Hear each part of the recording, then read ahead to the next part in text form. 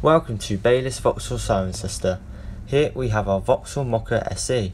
This car comes with 18 inch alloy wheels. This car has done 21,000 miles and as we move inside we have heated seats, parking sensors, climate control, DAB radio and USB connection.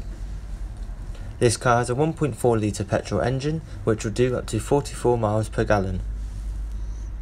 As we move round into the back, we have three seats, plenty of legroom and also ISOFIX connections.